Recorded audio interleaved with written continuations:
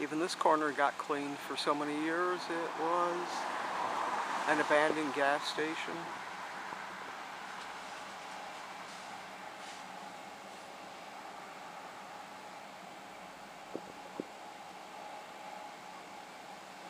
From downtown, we're at Ramon Road, so we've made it around the block in a matter of speaking. Anyway, take care.